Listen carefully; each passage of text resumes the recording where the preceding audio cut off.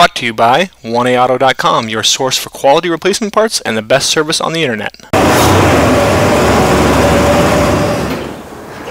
Hi, I'm Mike Green. I'm one of the owners of 1A Auto. I want to help you save time and money repairing and maintaining your vehicle. I'm going to use my 20 plus years experience restoring and repairing cars and trucks like this to show you the correct way to install parts from 1AAuto.com. The right parts installed correctly that's going to save you time and money. Thank you and enjoy the video. In this video, we're going to show you how to change the pads and rotors on this 97 Cadillac DeVille. Uh, this vehicle, the brakes are actually in good shape, so we just show you how to take them apart and put them back together. Uh, you can order new rotors and pads from 1A Auto. Uh, this is the same for any 96 to 99 DeVille. Tools you'll need are jack and jack stands, 15 and 19 millimeter sockets with ratchet and extension, and you'll need a breaker bar or a pipe for extra leverage for a couple of the bolts, and also a large C-clamp. Okay, use a screwdriver. I like to use a rag so I don't scratch the wheel or the center cap. Right underneath there.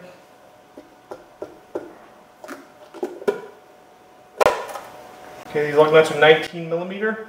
Uh, if you don't have the benefit of air tools, you'll want to start with the wheel on the ground, loosen the lug nuts, then raise and secure the vehicle, and remove the lug nuts the rest of the way.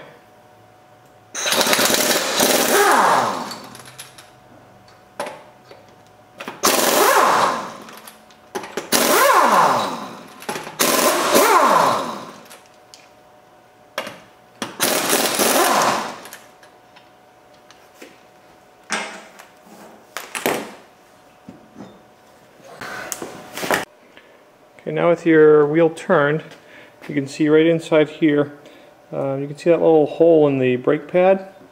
That is actually a wear indicator. Um, so it would indicate that on this brake pad you're in good shape. And then if you look at uh, your outer pad, uh, we can see that there's some still some pretty good life left in it. Um, and then you want to make sure you check both sides because sometimes you can have one side that's not worn and the other side can be more worn. Um, but uh, our brakes are fine. I have checked both sides, but I am going to take them apart and put them back together just to show you how to do it. So the next thing you want to do is remove these two uh, bolts here, which uh, releases your caliper. These two bolts are 15 millimeter.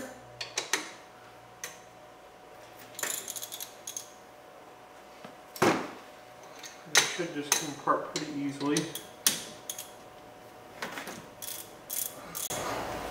Okay, and we'll speed it up here as we take out those bolts. Okay, you'll make sure that before you put these back together that these pins are nice and clean and they have a little bit of grease on them. These look very good.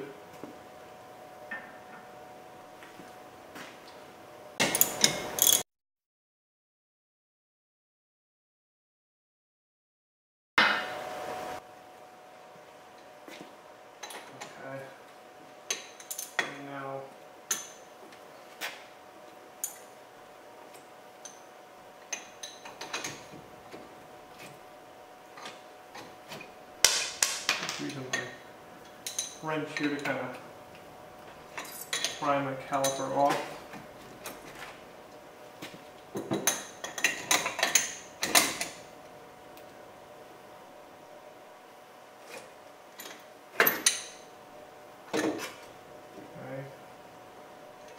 Put the caliper up here out of the way.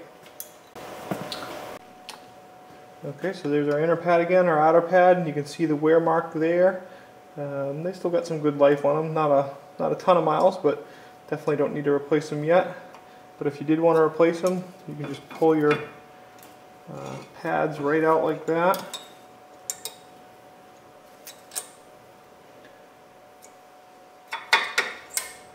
Okay. okay, now your rotors.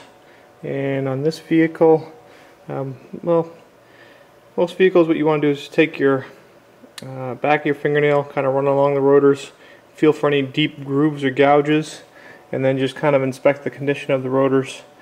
And this, these look absolutely fine. Um, if you feel any grooves or there's too much rust or corrosion or your rotors look thin, then you do want to replace them.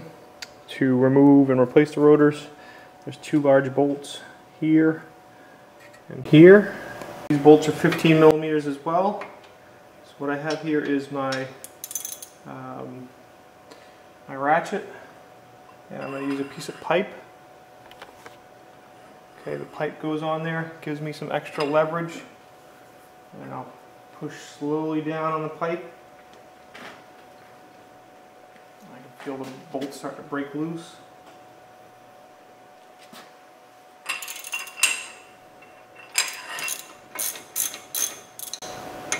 On top here, I'm going to use a short extension.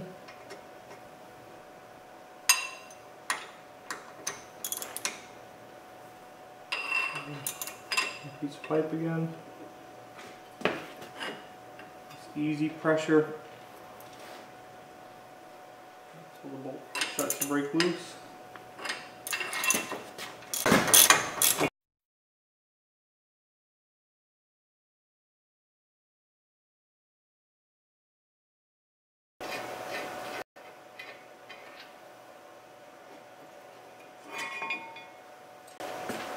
And then once that bracket's off, the rotor comes simply comes right off.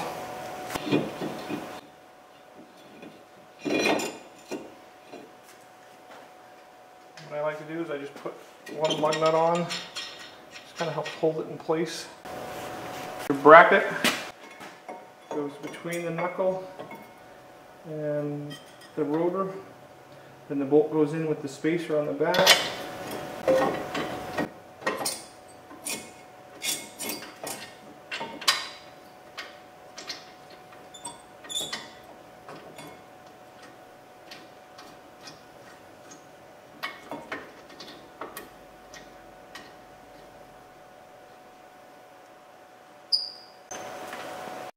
Okay, we'll speed up here as we just uh, put those bolts in and tighten them up preliminarily. And tighten it to 85 foot-pounds.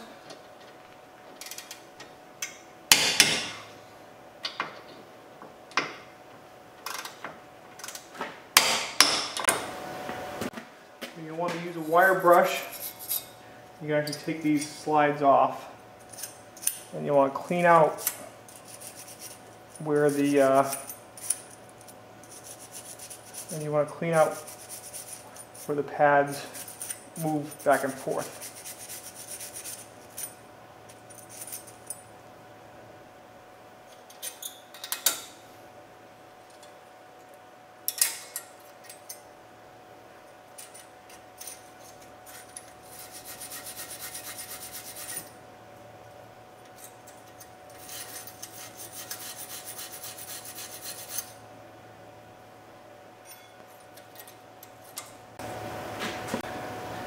Your pads, uh, obviously I'm not re I'm not putting new pads in because mine are fine. What this vehicle really needed was a new hub. So put, put the pads back in.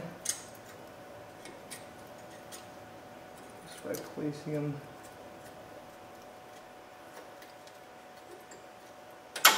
like that.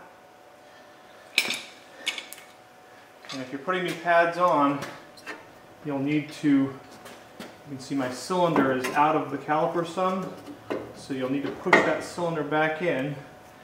You do that with a large C-clamp.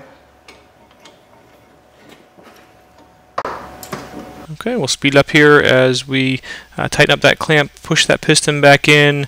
Uh, you may want to remove, uh, check your brake fluid. If it's over full, you may want to remove some of the fluid so it doesn't leak out. Okay, now